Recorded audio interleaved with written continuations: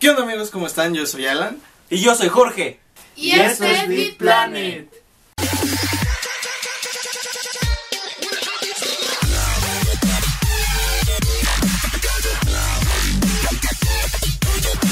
Y bueno amigos, el día de hoy vamos a traerles el video del tótem que tanto nos han estado diciendo en los comentarios. Y bueno amigos, en este video vamos a enseñarles cómo se elabora... wow, wow, wow, espérame, espérame.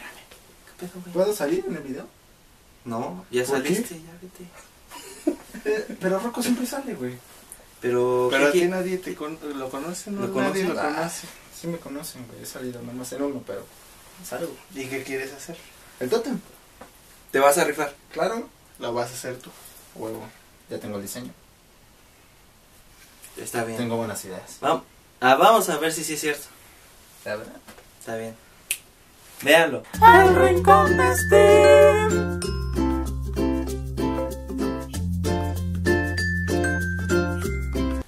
Esa está muy niña. Bueno, bueno, entonces pues algo así.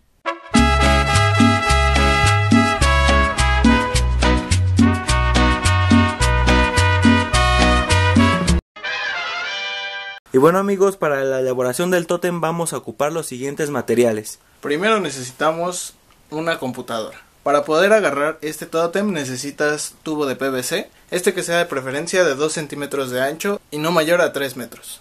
También plástico corrugado, este lo pueden conseguir en papelerías grandes. En este caso nosotros utilizamos lo que es papel cuché, pero ustedes pueden utilizar diferentes tipos de papel como el vinil adhesivo o hoja normal o lo que ustedes consigan más fácil.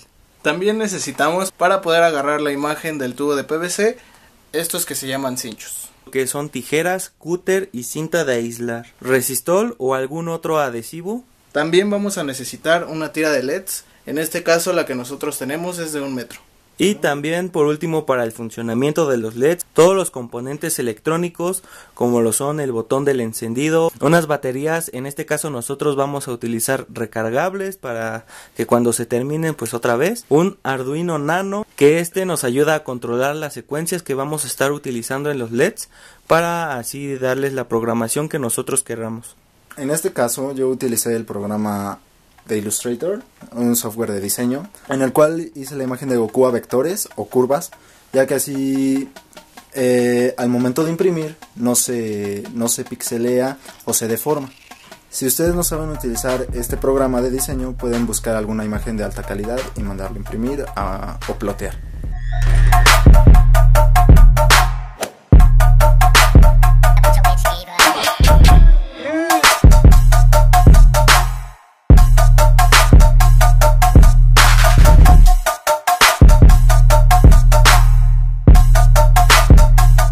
Primero que se hará, bueno, es imprimir la imagen, después recortarla al a tu gusto, como tú, como tú te acomodes, pegarla a un, eh, al plástico corrugado para darle resistencia y no se doble. Y, e- y ese plástico corrugado recortarlo con la forma de la silueta de tu impresión.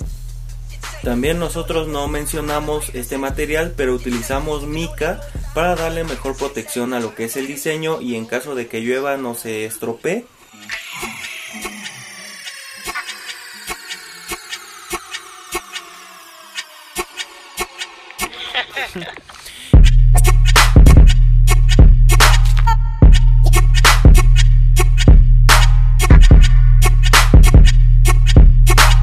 Bien amigos, para la parte electrónica, como ya lo vimos en la lista de materiales, utilizamos un Arduino Nano que se va a encargar principalmente de ser el cerebro del sistema, es decir, mediante un código de programación controlará las secuencias y los colores que nosotros vamos a ver en los LEDs. Es muy importante que la tira de LEDs sea el modelo WS2812, ya que esta es programable y no es como las tiras de LEDs que comúnmente se encuentran en las tiendas que simplemente encienden y cambian de color. Bien, el objetivo de este video no es precisamente mostrar de una manera muy técnica cómo se realiza la conexión. Sin embargo, eh, les menciono que para el circuito utilizamos además de el Arduino y los LEDs algunos componentes electrónicos básicos para protegerlo, como lo son capacitores y resistencias. La alimentación la realizamos con cuatro pilas AA. Eh, elegimos unas de alta duración precisamente para que aguanten bastante tiempo. Eh, las pueden encontrar al igual que todo el resto de los materiales en tiendas especializadas en electrónica o bien comprarlas en línea. En términos simples la conexión fue la siguiente. Mediante el Arduino conectamos un botón que se encargará de controlar las secuencias de LEDs que ya programamos previamente. Y los LEDs van conectados de igual manera al Arduino y a la alimentación, en este caso las pilas. Es un circuito bastante simple, pero posiblemente necesiten algún conocimiento de electrónica para realizarlo. Entonces les recomendaría que busquen algún video en YouTube de cómo se controlan estas tiras de LEDs para ampliar la información. Algunas recomendaciones que les puedo dar para el ensamble de los componentes electrónicos son proteger el Arduino y las pilas del clima, principalmente del sol, ya que el calor puede dañar los componentes electrónicos con facilidad.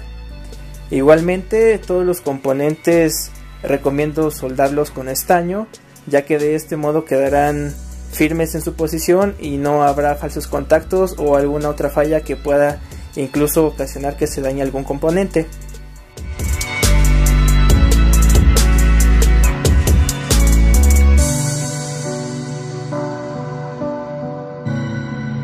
Y bueno, si ustedes no quieren eh, meterse en algún problema con programación o elaboración de circuitos, pueden simplemente comprar alguna tira de LEDs que ya venga preprogramada eh, generalmente las venden con un control remoto y desde ahí ustedes pueden cambiar el color o las secuencias que tengan cargada la tira con anterioridad.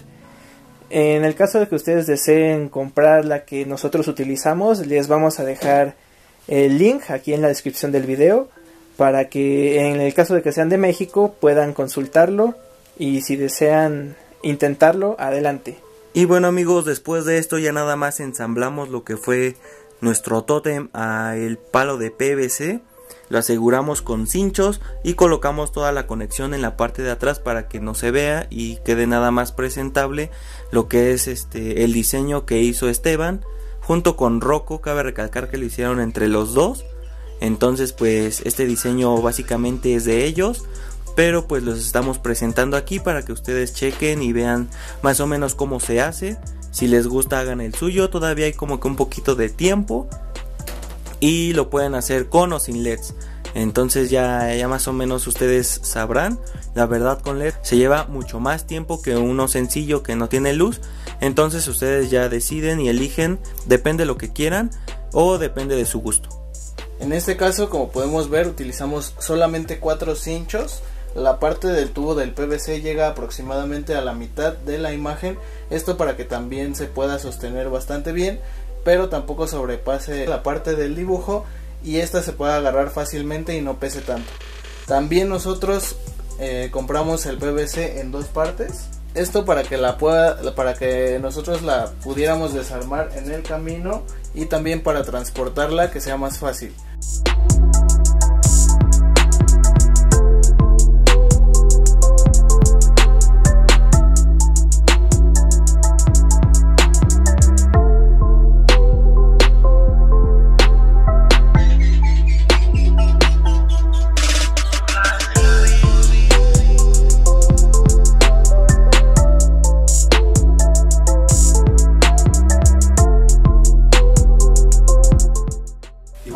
Aquí está el tótem. Como pueden ver, aquí están las luces LED, aquí están los hinchos y el PVC. Y también podemos observar que en la parte de atrás tenemos todo el circuito electrónico. Aquí tenemos nuestra tarjeta Arduino Nano perfectamente protegida con una, con una caja de plástico. Eh, también tenemos un botón para encender y apagar eh, las luces LED y este botón rojo que pueden observar en la parte de abajo sirve para cambiar las secuencias de los LEDs. Y bueno, en esta cajita que pueden observar aquí, colocamos las baterías. Esto con la intención de que podamos reemplazarlas en caso de que se agoten. Aquí pueden observar cómo se ve el tótem con la luz apagada.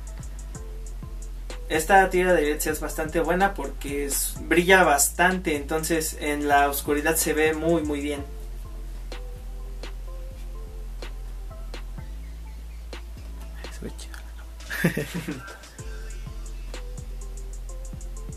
Y pues bueno amigos, como ya les mostraron, este fue el tótem que hicimos para esta edición.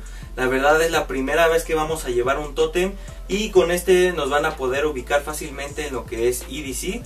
Aparte de que como ya les hemos mencionado vamos a poner un punto de reunión donde nos vamos a poder encontrar ya después de que salga el horario y de que salga el mapa. Y pues sí amigos, eh, lo que fue la elaboración del tótem la verdad estuvo bastante difícil. No lo hubiéramos podido haber hecho si no es por mi primo que estudió robótica. La verdad él nos facilitó muchísimo a pesar de que nos tardamos muchísimo tiempo en la elaboración. La verdad, hacer este tótem nos costó bastante, bastante trabajo. Estuvimos muchas horas trabajando en él. Aquí podemos ver la otra parte. Como pueden ver, obviamente esta es la chiquita. Esta se conecta o se pone en la parte de abajo para que ya se pueda hacer el tótem más largo. Como ya les dijo Jorge, con ese ustedes ya nos van a poder encontrar dentro del festival sin ningún problema. Y pues bueno, igualmente les daremos las indicaciones de dónde estaremos más o menos. Y los sets que vamos a estar escuchando. Hijo de la chingada, estás haciendo ruido, güey. Hace poquito. Por último amigos, recuerden que las playeras ya salieron a la venta desde la semana pasada. La verdad hay muchos, muchos diseños, algunos de ustedes ya nos pidieron algunos y ya están en camino sus pedidos. Y bueno, por último, un saludo a Armando Segovia Uribe. Ya nos había estado pidiendo saludos para los videos, pero la, la verdad es que no habíamos... Hijo de la verga, güey. ¿Ves? ¿Ves? Me estoy sintiendo- Pero pues obviamente hay varios comentarios y luego se nos cruzan y no sabemos bien bien a quiénes son todos los que nos han pedido. Así que si se nos pasó tu nombre, si alguien se nos pidió algún otro saludo en algún otro video, pues ya estarán Coméntenlo. saliendo en otro. Coméntenlo para que les mandemos sus saludos. Y también les recordamos que este viernes ya es el sorteo de lo que son los regalos que les vamos a estar dando. Ya por fin, después de todo este tiempo de espera, vamos a saber quién es el dueño del abono. Bueno, de lo que es el primer lugar. Recuerden que van a poder ganar diferentes cosas como las playeras, las gorras y pues bueno, el primer lugar se va a llevar como que el mejor regalo. Entonces pues estén pendientes. Ya les habíamos comentado en Facebook eh, una foto donde les decíamos que el sorteo va a ser a las seis y media de la tarde. En el Instagram de Alan se va a hacer lo que es el live stream.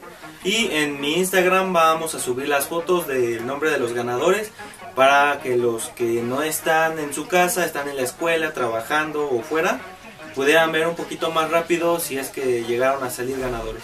También esperen el video de lo que va a ser la aplicación. Eh, ya nada más estamos esperando a que ADC libere la aplicación para enseñarles lo que trae. En los comentarios igual nos habían puesto que lo hiciéramos, entonces se los vamos a estar grabando.